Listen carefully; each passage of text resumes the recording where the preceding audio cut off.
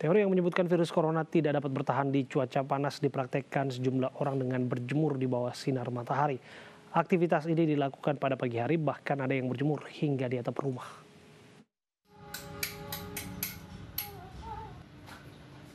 Inilah aktivitas berjemur yang dilakukan sejumlah warga di Pisangan Baru, Matraman, Jakarta Timur sejak dua minggu terakhir ini. Anak-anak hingga orang dewasa berjemur di bawah sinar matahari pagi antara pukul 8 hingga 10.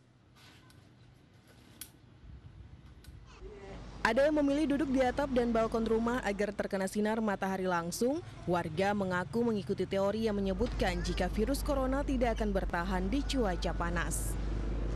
berjemur Berjemur buat apa sih? mencegah corona Cegah corona. Kamu biasa berjemur dari jam berapa ke jam berapa?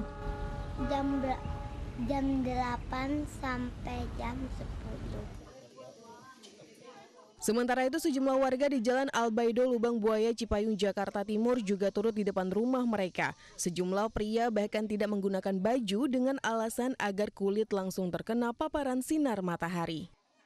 Kalau di TV sih lihat-lihat di berita bagusnya jam 10 hmm, 15 menit sampai 30 menit cuma kita kan dari pagi udah kedinginan jadi kita mulai kalau udah pada mandi udah pada makan kita langsung berjemur aja Meski sudah banyak yang melakukannya, aktivitas berjemur ini belum terbukti secara ilmiah mampu mencegah virus corona. Dari Jakarta, Rio Manik, iNews melaporkan.